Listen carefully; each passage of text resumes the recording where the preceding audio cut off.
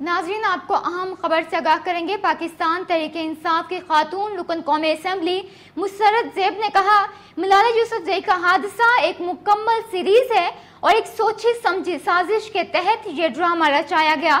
اور یہ ایک سازش ہے۔ مسرت زیب نے سماجی رابطے کی ویب سائٹ ٹویٹر پر جاری اپنے پیغام میں یہ دعویٰ بھی کیا کہ ملالہ یوسف پر حملہ کا ڈرامہ رچانے والے گروپس نے اسی طرح کا ایک اور ڈرامہ رچانے کے لیے ان کے ساتھ بھی رابطہ کیا تھا، تاہم میں نے اس کا حصہ بننے سے انکار کر دیا اور پیشکش مسترد کر دی تھی، کیونکہ میں پاکستانی ہوں اور مجھے کسی سے سیاسی پناہ لینے کی ضرورت نہیں ہے۔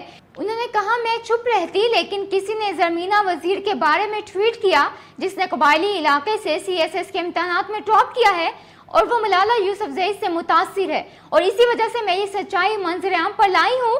انہوں نے دعویٰ کیا، میں نے اپنے ضمیر کی آواز پر یہ انکشاف کیے ہیں۔ مسرت زیب نے الزام عائد کیا کہ حملے کے بعد جن لوگوں نے ملالہ یوسف زئی کا طبی معائنہ کیا، ان سب کو حکومت نے پلاٹ دیے جو رشوت ہے، کیونکہ ان کی میڈیکل رپورٹ مرضی کے مطابق ہو۔ مسرت زیب نے کہا، جب ملالہ یوسف زئی کی کتاب گل مکئی کے نام سے سامنے آئی اس وقت تو ملالہ یوسف زئی پڑھ اور لکھ بھی نہیں سکتی تھی۔